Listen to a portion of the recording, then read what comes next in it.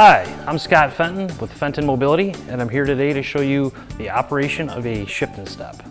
This is a 2024 Transit, all-wheel drive extended van with a power door operator. So the very first thing we're going to do is pull the handle and the power door is going to open, full open. Notice in this picture the lift is blocking the door so we're going to want to push and hold the shift left button and this exposes the stairs. You're going to hold the button until the shift and step stops shifting on its own and you can simply walk right in.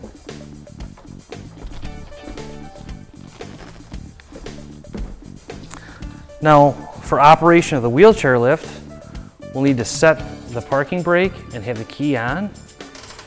In most cases it's better to have the engine running but because we're inside today, we're gonna leave it off. So what I'm gonna do now is I'm gonna push and hold the shift right button until the shift and step stops on its own. The lights on the lift should illuminate at that point. So now I'm gonna, I'm gonna grab the control box and this is gonna operate like any normal Braun lift. So I'm gonna hit the unfold button, push and hold it until it stops. It's gonna stop at floor level. Release, down to ground level. I'll wait for the roll stop to open up. So this, this operates like any traditional Braun lift does.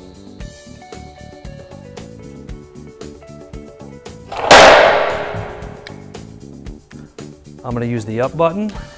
This is going to bring us back to floor level. There's a consumer on at floor level. One nice feature we've added to this shift and step upfit package is the operator entrance package. So we've removed the front passenger seat and this allows the driver to simply walk in, unload the vehicle, unload the consumer at floor level, tie him down, and return back out. So at this point, we're going to simply Use our fold button. We're going to hold the fold button until the Braun lift stops. I'm going to hang the control box on the right side. Go back to the shift and step. Push and hold until it stops. This is the preferred position. And in case of an emergency, you have an open staircase, but this is the preferred position.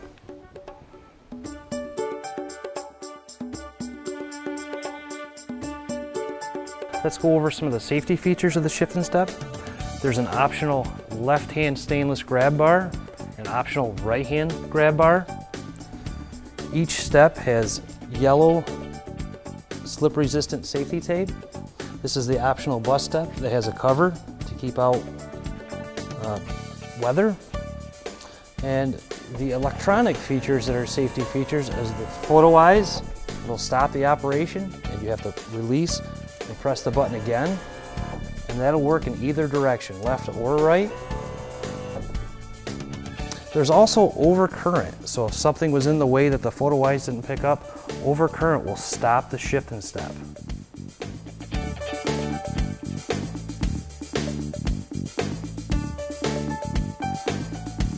Okay, shift and step manual operation. The manual operating lever is located in this package in the inside. take that off.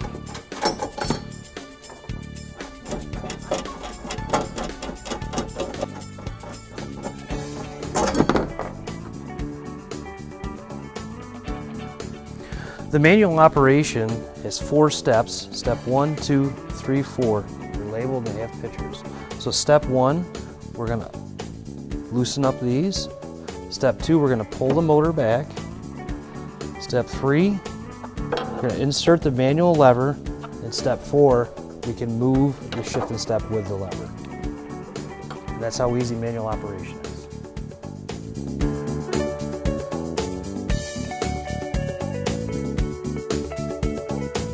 Each shift and step also comes with a key override.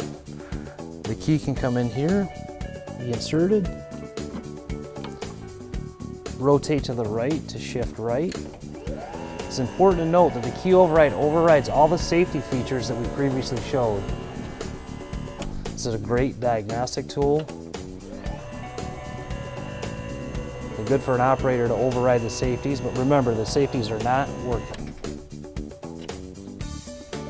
I hope this demonstration of the shift step has been helpful. For further information, go to our website, fentonmobility.com. Until next time, I'm Scott Fenton.